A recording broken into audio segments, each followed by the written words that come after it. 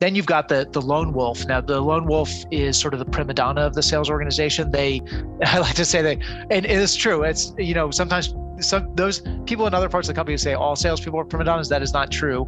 But these people are statistically speaking the prima donnas, and what that means is they don't use the the marketing materials their company created. They uh, don't put their notes in the CRM system. They um, they sell stuff that their company doesn't even make.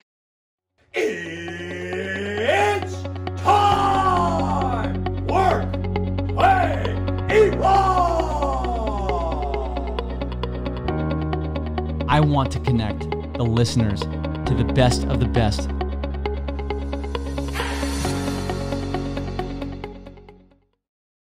Welcome to the Evolved Broker Podcast. I'm your host, Pat Costello, the co founder and principal at Evolve MGA.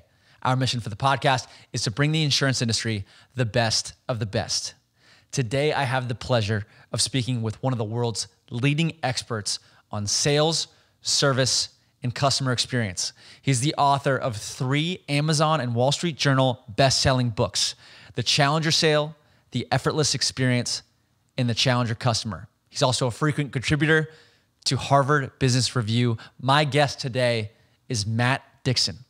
I was extremely excited to speak to Matt because his book, The Challenger Sale, is super applicable to the insurance industry. It's widely regarded as one of the best sales books of all time. His insights are super unique, and this conversation is excellent for any person or business looking to improve their sales. In our conversation, we discussed the five personality types, who a challenger is, six steps to a great sales pitch, and sales management optimization. This episode of the podcast is sponsored by Veruna. Veruna is the agency management system of the future, built on the number one customer relationship management tool in the world, Salesforce. Veruna allows you to customize your system, workflows, reports, and dashboards in minutes and allows you to gain actionable insights about your business in real time, letting you use this intelligence to grow your business in multiples. Veruna allows you to know your business so that you can grow your business. Please visit veruna.com to learn more. Without further ado, here is Matt. Matt, welcome to the Evolved Broker Podcast. Uh, great to be with you, Patrick. Thank you for the invitation. I am excited to chat because I am a really big fan of your book, The Challenger Sale, and I think it applies really well to our audience um, who are in sales within the insurance industry. And so I'd, I'd love to discuss the five sales personality types, Sure. who, who a challenger is. Um, I know you break down the six steps to an awesome sales pitch, and then Um, some sales management optimization tactics, if that's okay with you. Sure. That sounds great. Cool. So I know in your book you mentioned that you analyzed over 6,000 sales professionals to come up with five personality types. Can you walk us through those personality types? Yeah, absolutely. Uh, so just to give you a little bit of background on the uh, on the research, you know, we we started this research. It's actually it's funny that we're doing having this conversation this month, Patrick, because it's uh, the book just hit uh, its 10 year anniversary, literally Oh. uh, this month, 10 years old. Wow. Which which seems like it was yesterday. Um, it's been a bit of a whirlwind tour. Um, and uh, you know, since then, and we can talk a little bit about this maybe in this discussion. We've we wrote a follow-on book called The Challenger Customer, and uh, we have a new book um, uh, called The Jolt Effect, which will be out uh, next fall, uh, which kind of picks up the story uh, yet again. I think what we've found is while we find a lot of answers when we do research, we surface a lot of new questions too. So, um, and you know, the, the reality is, you know, uh, customer buying behavior is changing all the time, and so there's there's always new questions to uh, uh, to get our arms around. But uh, back to your your question about the uh, the five profiles. So this research started um, a little bit more than a decade ago. So we did the research uh, back in like 08, 09. And the big question at the time, I was I was running a global research group serving chief sales officers across industry, including many in uh, the insurance industry, uh, who are clients of ours. We worked with about 700 um, chief sales officers, chief revenue officers, et cetera. And you know, back in 08, 09, uh, as you can imagine, the biggest question they had was like, how are we going to survive the downturn? Um, it was a really tough time to be in in sales and um, people were missing their quotas by a very wide margin. But it was interesting because across our client bases, we went out to survey them and ask them, you know, hey, what could you use our help with? What should we do research on?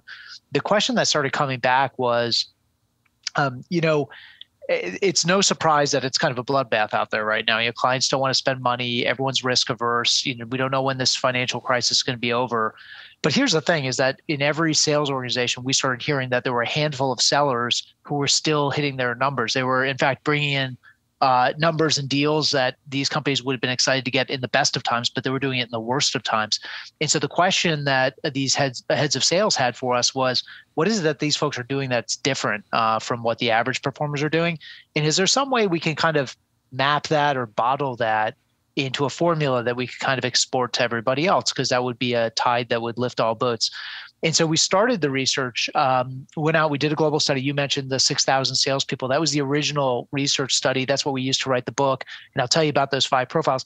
You know, since then, um, our uh, uh, there was a group we started at, at CEB that actually trained people on um, on challengers uh, to be challengers, uh, manager led coaching, building challenger messaging, all the stuff we're going to talk about in this discussion.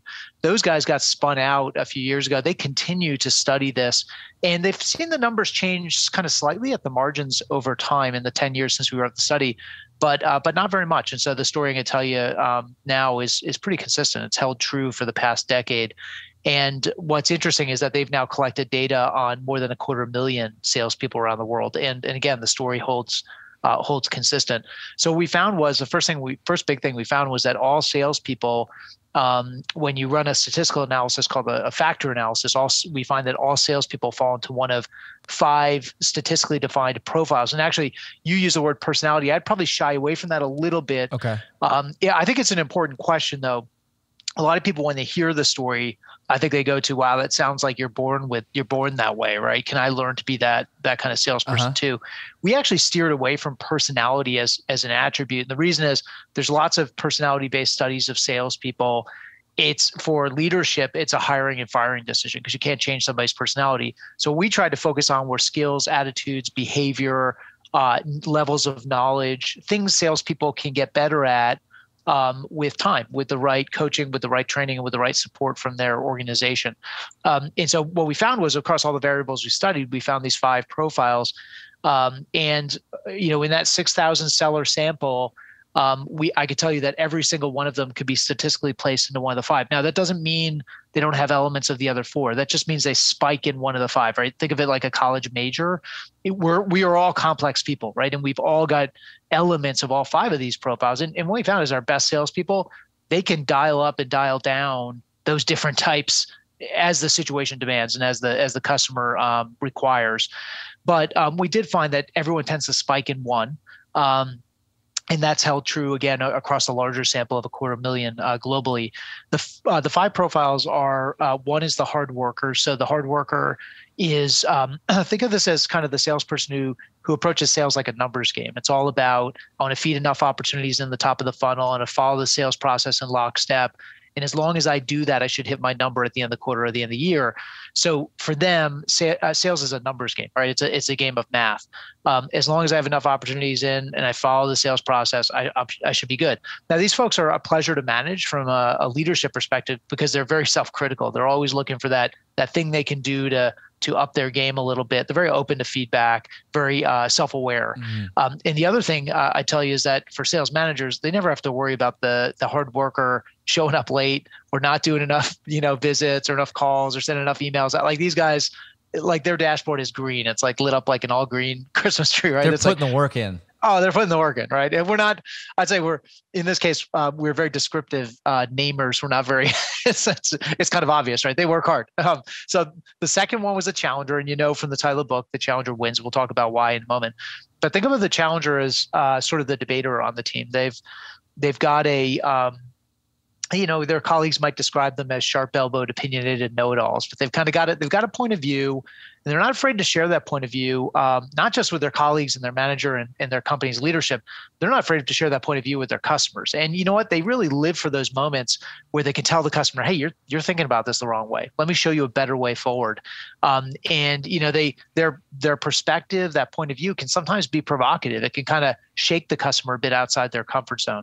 So that's a challenger. And, and by the way as I, I mentioned they can you know, as, as you can tell, they, they can be a handful to manage. I remember a meeting years ago. We this this research was pretty new still. It's before the book came out, and I was presenting to a room full of CSOs uh, from across industry. I'm sure there were some from uh, the insurance industry in that room. Uh-huh. And there was a guy sitting right up front. We got to the part where I said, you know, challengers win. And he kind of put his head in his hands and he was, I thought I heard some muffled sobbing. It was a little bit distracting. So I stopped. There's like 30, 30 leaders in the room. And I stopped. I said, you know, his name was Bill. I was like, Bill, what, what's going on? This should be good news. And he said, You don't understand. I, I fired all those guys like five years ago. They're a total pain to manage. oh, you know? no. right. Because they can be a tough fit in some companies. As you know, like mm-hmm. sometimes the, the nail that sticks up gets hammered down. And, oh, yeah. and uh, some companies, the culture is like that. It's not, not a lot of tolerance for people having a strong point of view. Um, the third profile was the relationship builder. Um, and the relationship builder, I think of them as we, you got to be careful here. They're not the, kind of glad handing sycophant like let's go play around at golf. Let's have the three martini lunch. Let's go to the let's go to the luxury box at the football game. These are the folks who who really focus on needs diagnosis. And they candidly they do what salespeople have been taught to do for at least 30 or 40 years now which is go in and ask your customer what's keeping them up at night. Find out what their problem is diagnose their needs and then hopefully during that conversation they'll say something that you can kind of hook your value proposition to, right? It's been the core of solution selling, if you will, for for many decades now. That's your relationship builder. You know, they they relationship builder is also somebody who, you know, they sit on the customer side of the table. You know, sometimes the customer will ask us to to do things, whether that's how we structure a policy or around our pricing or terms and conditions, and they're asking us to flex. And, and that requires special permission or approval, or it might create some headaches for our company. But the relationship builder sees it as their job to go and advocate for the customer, to go pound the table and say, this is what the customer asked for, this is what's right for them. We need to make this happen, even if it, you know, drives everyone crazy on their side. Um, so they they really do advocate for the customer. They're a champion for the customer inside the four walls of their company. Then you've got the the lone wolf. Now the lone wolf is sort of the prima donna of the sales organization. They, I like to say they, and it is true. It's you know sometimes some those people in other parts of the company say all salespeople are prima donnas. That is not true. Uh-huh. But these people are statistically speaking the prima donnas, and what that means is they don't use the the marketing materials their company created. They uh, don't put their notes in the CRM system they um, they sell stuff that their company doesn't even make, right? So they, they and, and what happens is in a lot of companies, unfortunately, we let them get away with that. It, you, there are some exceptions mm-hmm. in highly regulated businesses. So um, I might include insurance in there, but certainly in in certain areas of financial services, uh, pharmaceuticals, medical devices, there's not any tolerance for people kind of painting outside the lines just because the the regulatory and compliance requirements in those businesses. And so in those companies, if you don't follow the rules, you're kind of shown you're asked to get back in line, and if you don't, you're shown the exits. In every yeah. other company in the world, if a, if a lone wolf kills their number, they're allowed to get away. They get a pass, right? Yeah, so, yeah. You know, it's so um, funny on that point, Matt. I, I was at dinner with some buddies the other night, and I have a friend who is a self-described lone wolf. and I, the guy is the thing is his numbers are astronomical. So yeah, I'm sure they are. it's, it's, it's hard to argue with, but he's like, yeah, yeah I, I don't do anything that I absolutely need to do to make the sale happen. it's funny and you know it, what you see when you, you remember this patrick when you look at the book you actually find that um, when you look at performance I always like to say a little bit uh, tongue in cheek, but beware the siren song of the lone wolf because they actually do pretty well. When you look at high performers, they're they're like second to the challenger, um, and I think uh, it's always dangerous to kind of get duped by that approach. And it's not to cast aspersions on on lone wolves who who are very talented salespeople in many cases, but for a sales leader or a manager, you know the, the problem with the lone wolf is they like you, your friend said they don't do anything they're not required to. Um, and even those things they are required to a lot of times they don't do them either.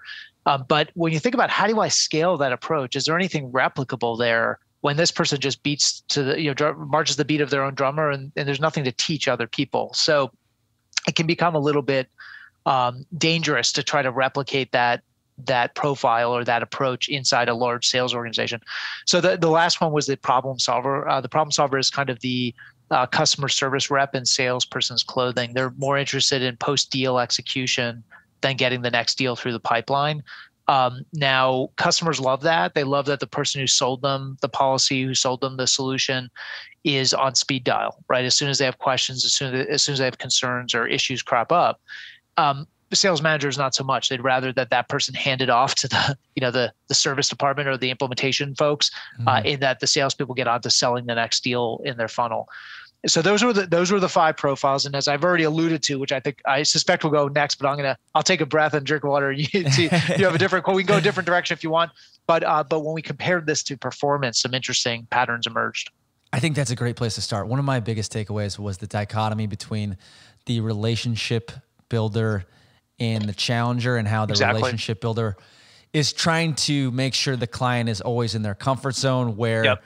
The challenger is uh, essentially uh, managing uh, attention in a better way, or, right. or not necessarily keeping the customer always in their comfort zone, pushing Yep. them out of it a little bit at times.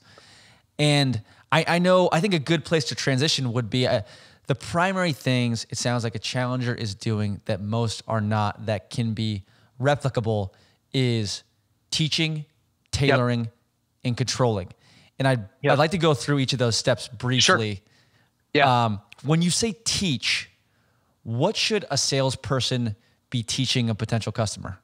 Yeah, uh, great question, and you you know you described it really well. That is that uh, that split. I, I think what's interesting is when you look at those five profiles it- before people see the results.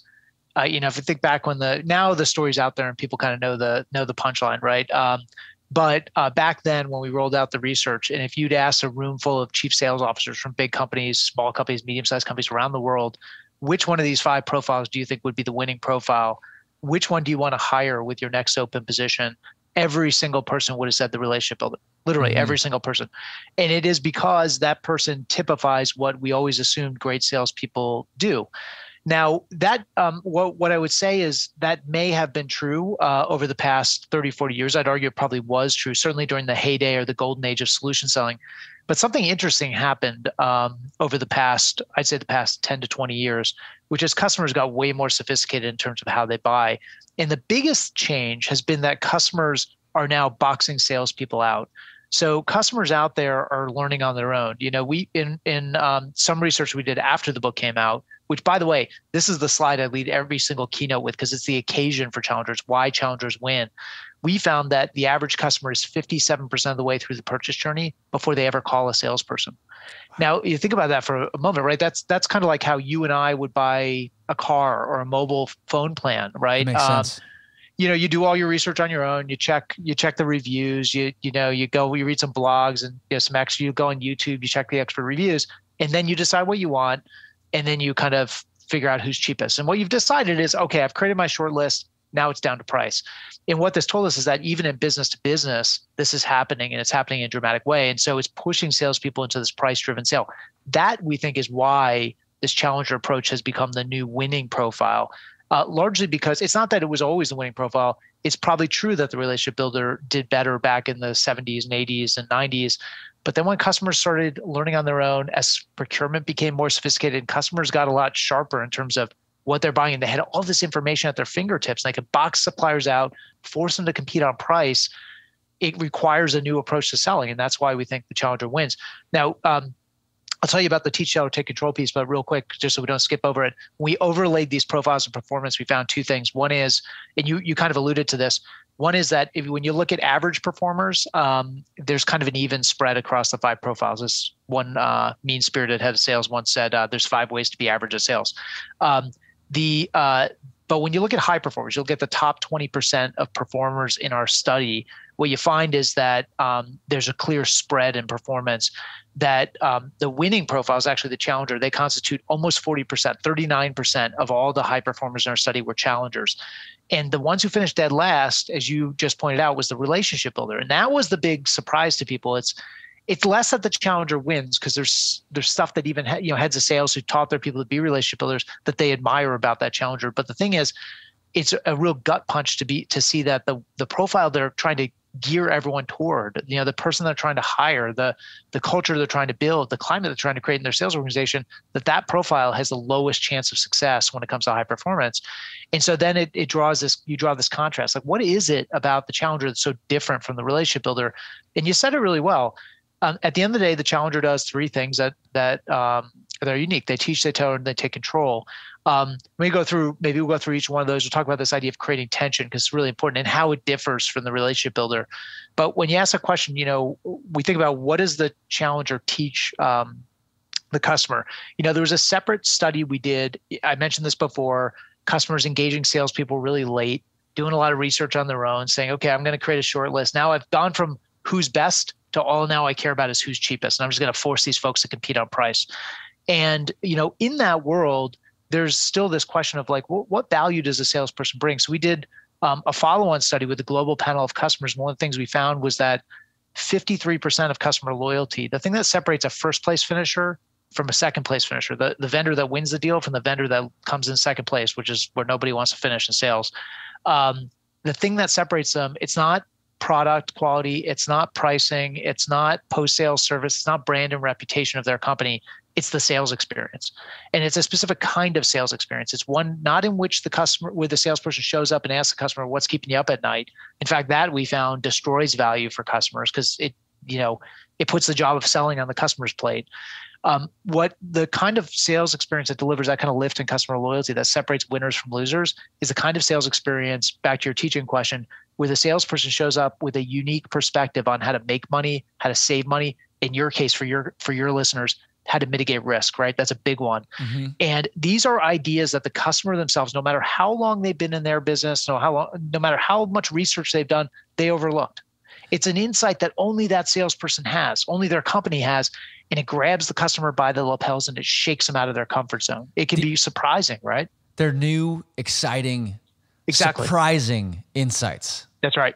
That's right. Okay. Okay. Exactly. Exactly. And so when you, we talk about teaching, that's what the challenger is doing. Now, this is not free consulting. So um, there is a specific, and we'll talk about this in a minute. There's a specific purpose or intent to that teaching. Um, here's here's a thing that I, I do want to point out. You know, a lot of people when they hear this idea of bringing insights, bring ideas, bring you know teaching customers. I think sometimes they go to this sort of generic notion of thought leadership. I got to be seen as a thought leader by my customer. And there's nothing wrong with your, if you think about the goal of thought leadership is really to make your customer feel like you're smart. You know, Patrick's done his research. He knows he's he knows the latest trends. He's he's with it on the latest issues that customers are grappling with right now. He's got a smart perspective. And there's nothing wrong with that. You don't want your customer to think you're not smart.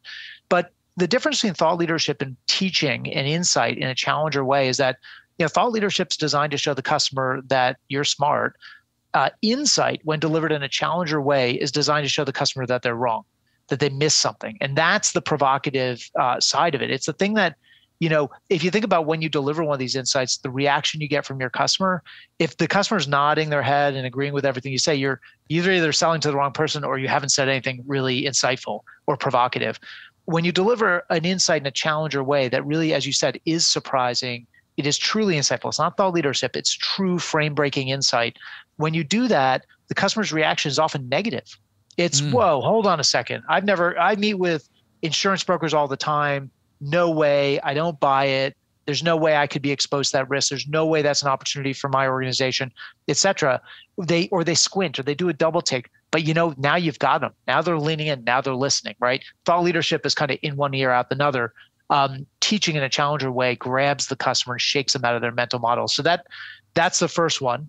Okay. And of course, um, uh, the other two, tailoring and taking control. So tailoring really is about, you know, if we're it, when we're selling in consumer, uh, tailoring can be about um, tailoring your pitch to a specific individual or their specific uh, context or circumstances, right? So mm-hmm. if we're telling selling insurance on an individual basis or to consumers, we might think about life events. We might think about that um, that person and and their specific needs and tailoring and even their personality, right? And tailoring our delivery to that person. If we're selling in a business context, uh, tailoring is really more about, you know, look before a business buys an insurance policy, um, they're gonna we're gonna have to get all the members of the buying committee on board, right? Procurement, legal, finance, boom, boom, boom, and I need to be able to speak the language of all of those key stakeholders, um, and I need to tailor my message to each of them so they each see themselves in the in the solution I'm, I'm proposing.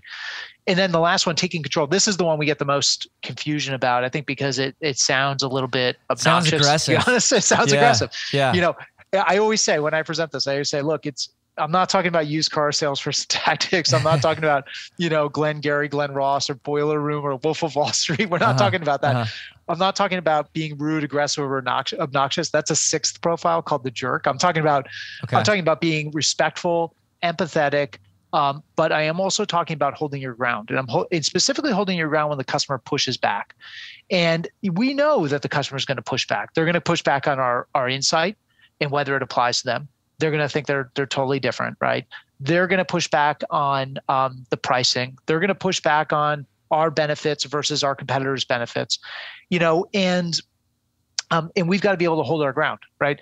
Um, the the key here, and I think you you said it well. If you sum up these these different criteria and you compare it to the relationship builder, you know, relationship builder is likable, they're generous with their time, they sit on the customer side of the table, they they walk a mile in the customer's shoes. But the relationship builder at the end of the day is all about finding out the thing that's creating tension and making it go away. What's the thing that's keeping that customer up at night, and how can I solve their address their needs? Uh, or are they worried about our pricing? Are they worried about our configuration? Well, you know what? Let's see if we can change it for them. Let me go talk to finance and the product guys and get some special exception for this customer because it's right for them. You know, they lobby for the customer. Now, the challenger, um, as you uh, as you said before, they're less concerned about being accepted into the customer's you know comfort zone. They're more concerned about pushing the customer outside of their out. comfort zone. Yeah. push them out, right?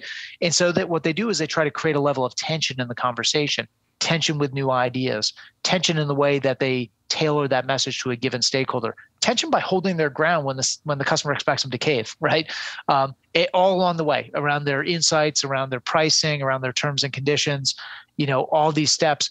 This is a this is a person with a strong will. There's a person who holds their ground. They're not a jerk. They're not rude. They're not obnoxious, but they do hold their ground. And so, mm-hmm. those are the three skills of the challenger. Um, and, and of course, you know, when we talk about teaching, the, the big part of that, and we'll, we'll talk about this in a moment, is is what that conversation sounds like and how's it different from, you know, what we're typically talking to customers about. One specific tactic that stood out to me in the book uh, when you, we talk about making sure you're taking control throughout the whole conversation is the concept of powerful gestures to yeah. take control. Can you yeah. give a couple examples of powerful gestures that people can use within the context of a sales conversation to ensure that they do have control within the conversation? Yeah, yeah, and it's a great it's a great question. So this is a this is a concept that um, came up, and then we started testing it uh, with salespeople. But it came up from uh, an old friend of ours, um, a guy named Dan James, who ran sales at DuPont, uh, the large chemical uh, company, and he um, he talked about this idea whether it's powerful gestures or powerful questions or powerful requests, and it's this idea about um, asking uh, asking customers to do things or asking them for something in a way that that um, maybe raises the ante a little bit, right? It it calls their bluff. It it look what it's the its intent is to find a customer verifier. Let me give you a quick metaphor. When I say verifier, what I'm talking about is this you know idea like you know if if I were to count how many people were going to come to my wedding. Um, I'm not going to count the number of invitations I sent out. I'm going to count the number of RSVPs I got back. And so great salespeople are always counting RSVPs. And what I mean by that is they're looking for verification that the customer is moving forward, not that they're stuck, not that they're moving backward.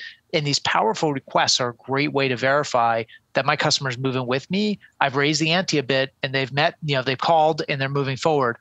Um, or not, right? And then, then as a salesperson, we have to decide: do we do we fish or cut bait, or maybe we go find somebody else in the organization to sell to, or or change our approach a little bit. Um, you know, I'll give you an example. Maybe early on in the um, in the sales process, one of the things we found um, great salespeople do is they are um, maniacal about their time. And so what I what I mean is um, that they don't chase garbage trucks. So they they will disqualify aggressively. They figure out very early on is this an opportunity worth my time, worth pursuing. The way they will validate that um, is off of external criteria. So, for instance, is this customer a good fit based on where we, have had success in the market before? They're in the right industry. Um, is the company shrinking or expanding? Have they had leadership changes recently? Like, there's lots of stuff you can just find publicly that'll give you an indicator of like, mm, this might be a garbage truck, or no, this might actually be a good one. But they don't stop there. They'll then look for, they'll look to make powerful requests that validate for them or verify for them that this customer is actually going to be able to move forward and make a decision. So they're looking for signs of decision making dysfunction. They're looking for uh, they're they're making asks of the customer like at levels of access. Hey, mm-hmm. um, if we're gonna if we're gonna do business, I'm gonna need some FaceTime with your CFO because any deal of this size uh, that we've ever uh, brokered, we've ever sold, um, it always goes through the CFO. And so I'm going to need you to make that introduction. That's a powerful request that that um, the customer may or may not come through on. If they don't, pretty good sign to you that maybe you're selling the wrong person or this customer's not serious about buying. They're just kind of, you know, um, uh, they're, they're stringing you. you along. Yeah. yeah. exactly, exactly. You know, if you think about um, other things, so for instance, in in really big complex deals, um, one thing we might ask for a powerful request is uh, to ask the customer to get all the key stakeholders together, the buying committee, and then give you time uh, to present to that team, right? Uh, or introduce you to the various members of that buying committee. These are things that f- force them to to move to act or like or to you know out themselves for for not wanting to move forward. And i think it's um, i think it's powerful because what you're really doing in these cases you're asking them to cash some political capital right? Are yeah. you are you serious enough about this that you're going to walk me into the cfo and make an introduction? Are you serious enough about this that you're going to get the the five or six key stakeholders together for a meeting and let me present to them? Yeah. And and those things i think are tremendous signifiers. And, and what's interesting is your average performers they won't make those requests. They'll wait for the customer to offer and they'll just kind of they'll kind of bide their time, right? They don't want to be forward. They don't want to be presumptuous. But your best salespeople know that only by ma- asking the customer to do something for me, making these powerful requests, will I get the verification I need that they're either it's a this is a deal worth pursuing or not. Yeah, yeah, yeah. You understand if it's going to be worth your time. I love the phrase that you used. Be maniacal about your time because yeah. if you need to if you need to cut them off you need to focus on the best chance of success That's with right. the clients that are legitimately going to be considering what you're selling. Exactly. Exactly right. Okay. Okay, cool. That's that's a great breakdown of the those powerful gestures. The next section I want to because I know we have limited time, I would love to go through are the six steps to a great sales pitch, which sure. include the warmer, the reframe, uh-huh.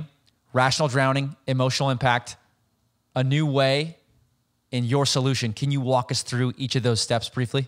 Yeah, sure. Um, so the the first, and, and you know, we we had the benefit. One of the things I always say about Challenger is that you know we didn't make this up. We we found what best salespeople had already figured out on their own, and we just gave we gave language to it and told the story. Um, and so, in, and similarly, this whole the six step process that what we call the choreography of an insight based sales conversation, a challenger sales conversation, those six steps you just mentioned, um, that was reverse engineered from companies like Grainger that had already figured this out. And so we can't take credit for it. We didn't invent it. They did. And we just kind of created a framework that everyone could follow. But let me walk you through the six uh, steps. So the first one is the warmer. Now, you think about um, how most of us start a sales conversation, it's usually like the first four slides are um, our mission and values as a company, you yeah, know, uh, all the are. this is who we yeah, are. Here's totally. all the other companies that trust us with every a big logo, our logo brag sheet, right? Yeah. And then there's a page that has like a map with a whole bunch of dots on it to show how many offices you have. Like everybody's got the same first four slides. And um, there's two things wrong with that. I think one is that it's um, it's uh, not very differentiated. Of course, it, it's not uh, the thing that makes you unique but also um, it doesn't go at the beginning of a sales presentation. And the other thing we know is that um, that also at the beginning of the sales presentation or sales conversation, you don't want to start with a question. You want to start with a what's keeping you up at night. I actually remember a, a, uh, chief information officer I met with years ago. We're reviewing some of the early research, and he was complaining about how all salespeople walk into his office and ask him what's keeping him up at night. And he said, you know, what's keeping me up at night is the thought of the next salesperson who comes in is going to ask me in about an hour. He's going to ask me what's keeping me up at night. Yeah, it's annoying. It's annoying. It's very I, annoying. I experience it. Yeah, yeah, it's like it's I, very. I, I, don't want to have to explain my business no. to you. Exactly, exactly. Um, and uh, what uh, was interesting is the CIO said, you know, um, when salespeople, because I said it's interesting you're complaining about this because most heads of sales think that's a very empathetic way to sell. That's the core of needs diagnosis and solution selling. And he said it's it's not the questions I object to. Everyone's got to ask questions when they sell. I'm not going to do business with a vendor who doesn't get to know me and my company and my team and what's important to us. But um, I hate the way salespeople today use that question where they put the job of selling on my plate. It belongs on theirs. When they come in and ask me what's keeping me up at night, what they fail to appreciate is they're going to meet with more CIOs just like me in a week than I'm going to meet with all year. So don't ask me what's keeping me up at night. Tell me what should be keeping me up at night. Let's start mm. the conversation there. And so the warmer is specifically designed to create a different feel from the very, very beginning of the sales conversation. Think about a slide in which you as a salesperson are putting on a on a slide, you know, just literally bullet it out. What do you think the answer to the question, what's keeping you up at night, would be but don't ask the customer that question. Just take your best stab at it. So, you know, um, we talked about Grainger before. They're in, you know, they sell supplies to buildings. You think about, um, you know, if if uh, you or I were a Grainger sales rep and we're going to sell the Grainger value proposition to a head of purchasing in a hospital, you know, we could hypothesize that they're they probably care a lot about COVID. They probably care a lot about worker safety. They probably care a lot about productivity and patient outcomes. They probably care a lot about costs, right? We could do a pretty good job. The goal here is not to be right. You're not going to be right without talking to the customer. The goal is to make the customer feel like, you know, first what they're thinking is, thank God you didn't ask me what's keeping me up at night. But it also create, just creates a different feel up front. That's going to require that you as a salesperson do a little bit of homework. Now, you might be calling on a company or a customer you've never met with before and so you're wondering, how would I know what's keeping them up at night? But here's what I tell you is reflect back on the other companies you've met with, the other customers you met with who are similar to that customer. What was keeping them up at night? Then I would tell you, um, do a little bit of homework. See what what news you can gather about this company. Are they shrinking? Are they are they growing? Have they been acquired recently? Did they just acquire somebody recently? You know what's going on in their business, and, and again generate a hypothesis. Um, or even another resource, go ask your colleagues, right? Say, hey, I've, I've never sold to anybody in this space before, but I know you sold that deal last month. Can you tell me a little bit about what they were focused on? Because I think it might be relevant for this customer too. Now, what again, the goal is to create a conversation, not to be 100% right. So the customer's going to look at your warmer, look at your list of hypotheses, and they're going to say, yeah, yeah, this is great. Um, we're totally focused on this you know, not so much these other things over here. And by the way, you miss a few things, right? But it creates a productive conversation right away. Then the mm-hmm. second step if if the warmer is all the things that you know the customer already knows about the reframe is the thing they didn't see coming. So this is the insight that grabs them by the lapels and shakes them out of their comfort zone. It's the thing that they uh, they overlooked. It's the thing they missed. That's where you deliver your insight. Now um, if you're going to say as a salesperson if you're going to say something provocative frame breaking truly insightful you're going to show the customer a new way to make money or save money avoid risk that they've never come up with on their own before you better be able to back it up and so the next step beyond that we call rational drowning. You got to be able to have data uh, that backs up that what you just said is factually true. Right. Um, this is where step, the graphs, the charts, the yeah, business case for exactly the the shocking insight that you laid out in the reframe. That's right, and and it's um it's got to be it's got to be verified. And now the thing is, for business customers, they'll they'll often buy an emotion but justify with reason. Um, and so we also need to appeal to the emotional level. We call that uh, the emotional impact. So we need to think about like why does this insight matter to this person?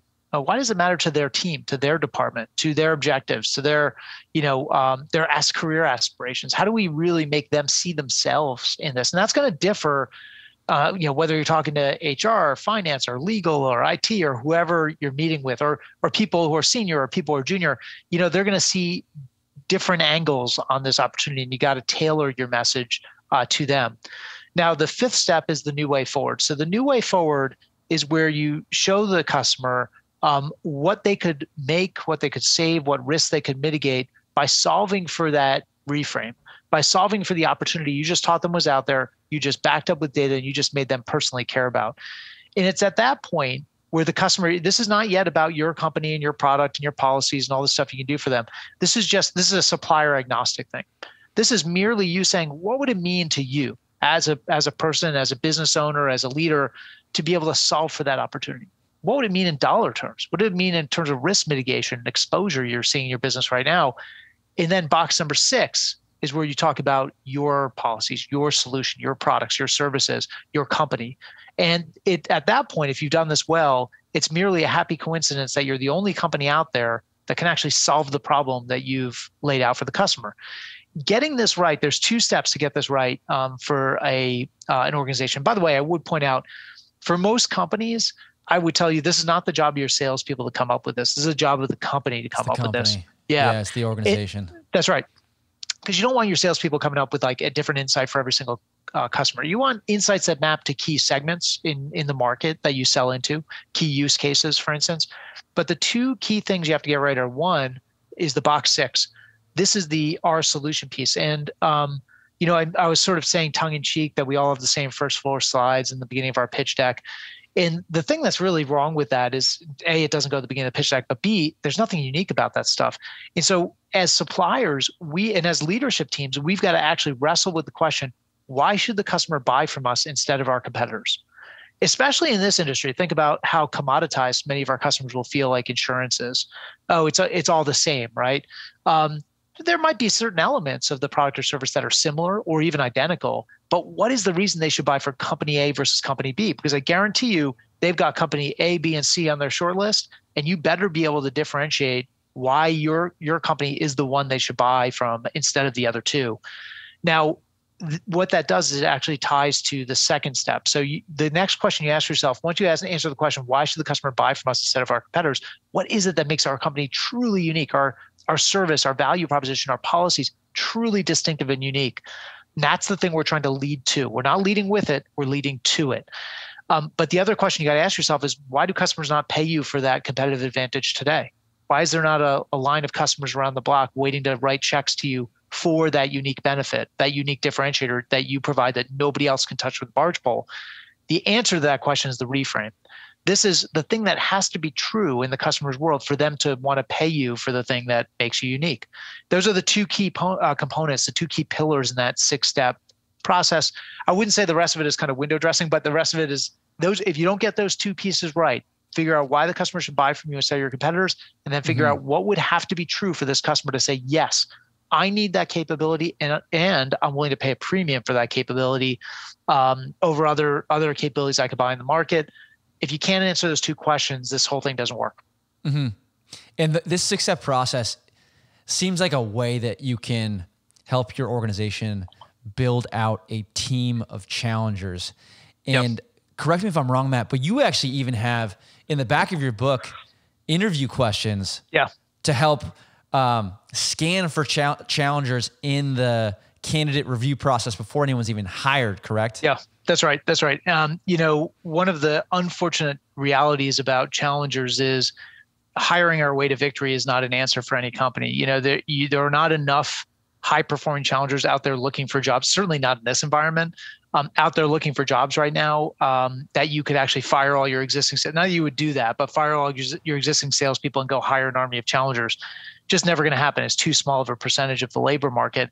It raises interesting questions about is it more important to hire somebody with sales experience or insurance industry experience um, who can challenge customers, or are we better off hiring challengers who we can teach the insurance business to or who we can teach how to sell. Mm-hmm. Because you think about challenging for a moment, you know, there are lots of of places where you can find challengers. You can find them in law, you can find them in marketing, you can find them in product, you can find them all over the place. And um, find them in consulting, right? Uh, challenging is is a professional kind of posture that people take and there are opportunities i think for us to cast a wider net to go find challengers maybe outside of our industry uh-huh. um, who haven't had 20 years in insurance and then and then teach them the ins and outs of our our business. Now, um, getting that right though requires that we we are thoughtful about how we screen for those capabilities. So we do uh, posit a number of like behavioral interviewing questions that you could use to try to diagnose uh, somebody's challengerness, if you will, in an interview. I will say there there are higher end assessment tools you can use as well. Uh, for any of your listeners interested in that, uh, the company Challenger Inc. I mentioned before uh, provides that service to companies who are, you know, hiring hundreds or thousands of salespeople on an annual basis, doing it in a more scientific way so you can assess at scale um, is a very powerful approach. But for the small boutique shop, those uh-huh. interviewing questions would be um, uh, very appropriate, I think. I realize the the challenger profile is not necessarily a, a personality profile, mm-hmm. but are you familiar with the Enneagram assessment, Matt? Yeah, I, am some. I was not an expert, but but somewhat okay. familiar. Yeah. I, I only bring it up because we just went through this with our whole company, and yeah. uh, my brother and my dad are gonna love this because they're both challengers. Is literally their personality type. uh, so they're eights. The, the eight is yeah. the challenger personality type, and obviously there's there's differences uh, between this and between the enneagram, but um, they're going to be fired up to hear that they're challengers. Well, it's but you know, you uh, Patrick, you raise an important uh, point here. I think sometimes when people hear the story of Challenger and they think about the challengers they know, uh, so you mentioned your your brother and your dad. You know, you think about uh, other colleagues in the company. There's there's like hardcore die in the wool challengers. We all know them, right? We all know them in our companies. And sometimes I think we can say, well, boy, that seems like something you're just born with. But again, we didn't study personality. We studied stuff that people can learn over time. And, and the evidence we have that you actually can learn this, as I said, one of the first things after this research came out came out is we had a lot of companies asking us, hey, can you come in and teach our salespeople to be challengers? And so we we embarked on a for 10 years working with companies to try to teach their salespeople to be challengers. Now I'll tell you, um, it is not a hundred percent uh, success rate, but uh, I'd say it's probably more like 70%. But wow. the 30 still yeah, great. Still really good. But 30% yeah. who don't make it, I tell you, it's not because they can't, it's because they choose not to. And and a lot of times these are salespeople who've been really successful selling a different way. And they hear this message from the the new head of sales or the the leadership of the company about we're going in this challenger direction and want to assess everybody. And you know, these people get the results and they're like, well, I'm more of a hard worker, a relationship builder. I guess I don't I guess I don't fit here anymore.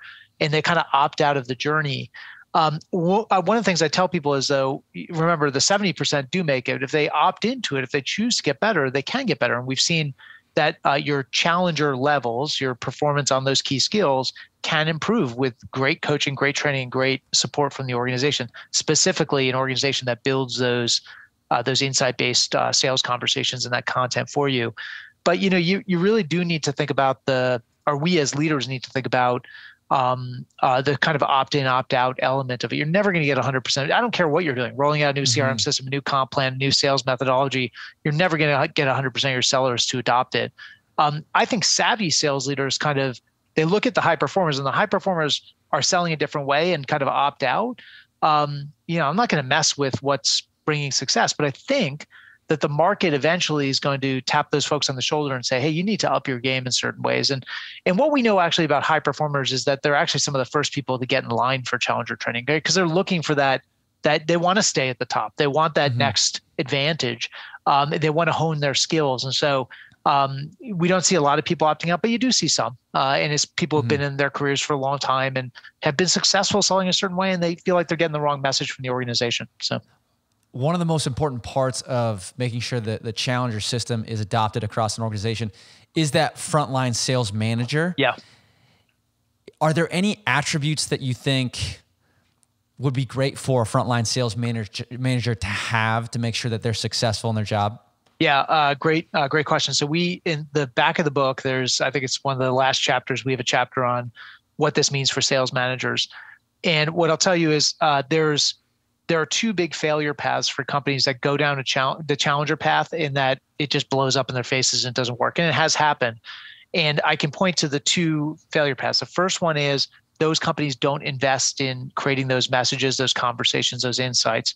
They just send their salespeople out and they say, go forth and challenge, you know, grab the customer by the lapel, shake them, not physically, but, you know, shake them out of their, their mental model um, take control, you know, tell the customer they're doing it wrong. But the, if your salespeople are going out and, and challenging customers, but they've got nothing insightful to say, they're actually just annoying. They're not challenging.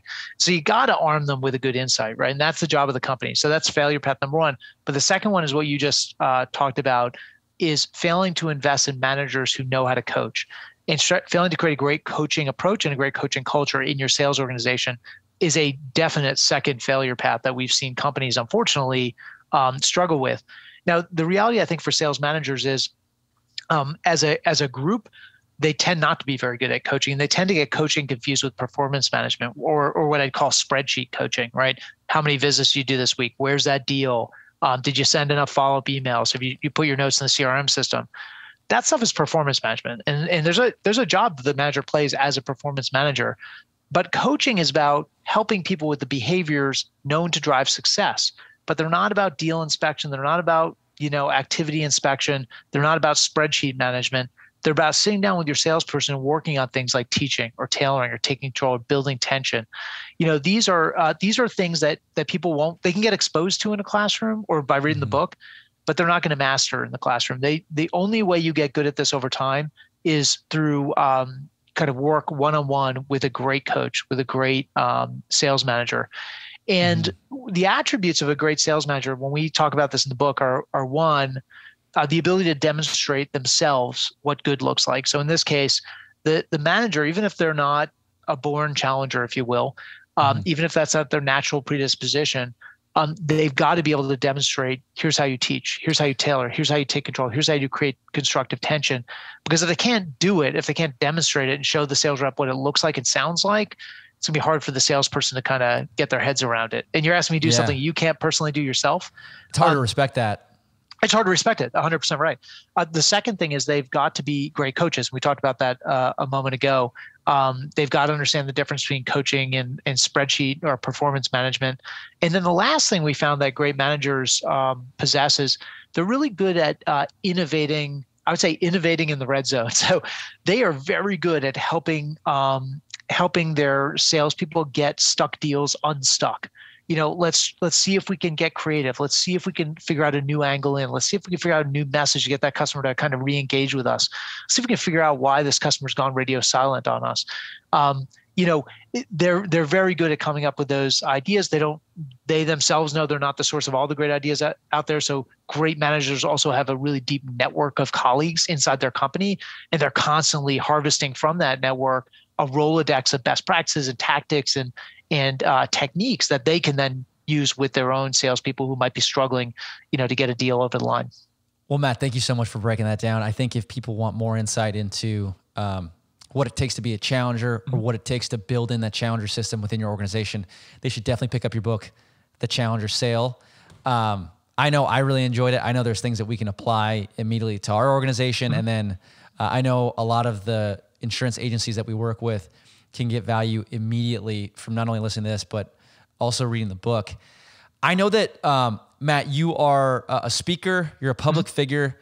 If anyone wanted to get access you to you or to follow you somewhere, would it be like your website for the blog, or would it be uh, social media, or is there anywhere that if someone was listening to this and like, oh, I want Matt to come speak at my event to um, teach my producers, is there somewhere they could access you? Yeah, sure. Um, so uh, the easiest place is probably LinkedIn. So, um, you know, what I'd encourage um, your audience to do, if anybody's interested in, you know, picking up the conversation, they'd follow up questions, or, or maybe they do want to have me come and um, uh, present to their team. Um, uh, reach out to me on LinkedIn. Uh, it's Matt Dixon, D-I-X-O-N, and shoot me a shoot me a LinkedIn message. Tell me you heard me on on the show, and uh, you'd love to pick up the, the conversation. There's another uh, another website I maintain, uh, DixonSpeaks.com um, and you can go check out a number of the other books and articles I've written, and uh, check out some videos of, of other presentations. And got a, a blog there that I probably don't do a very good job of maintaining, but it is there. So, um, but a, another place that uh, that people can uh, check me out. And um, and and I'll tell you, as again, I I mentioned the the sequel to the book. Um, the second book was the Challenger Customer, which is, you know, how do how do high performers um, uh, how do they manage the consensus purchase? You know, when you've got a lot of stakeholders on the customer side, how do they pick the right person to hitch their wagon to, and how do they Yeah. get those diverse and dysfunctional buying committees to actually agree on something? And then the the forthcoming book called The Jolt Effect is all about how do we deal with this problem, uh, you know, of what happens when the customer says they want to buy from us, and then they just go dark